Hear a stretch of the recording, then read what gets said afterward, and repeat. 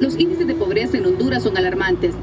Hay más de 260 mil niños huérfanos producto de la violencia. Sor, cuéntenos estos 70 años de consagración y amor hacia los más necesitados. Mientras hay un niño en la calle sufriendo, María Rosa no puede estar alegre.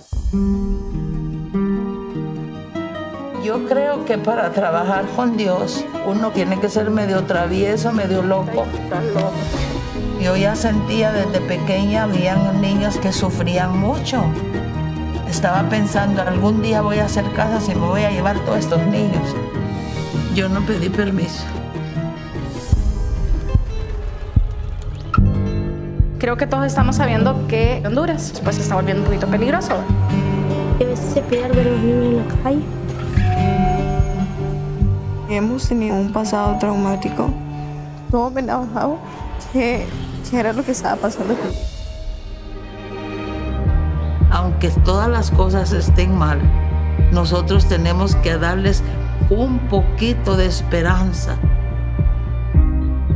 87 mil jóvenes que han pasado por los hogares, grandes personas que se hubiesen perdido si nosotros decimos no. ¿Qué futuro hubiese tenido yo sin Sor? Me siento orgullosa de lo que hemos hecho. Tengo pena de lo que todavía hay que hacer y no hemos hecho. Las vidas que podemos hacerse sentir mejor, darles un rayo de alegría. Ahora vamos a empezar a vivir una vida nueva una vida llena de luz. Que todo fue por amor. No, ha nacido el hombre que a mí me da órdenes, lo siento mucho.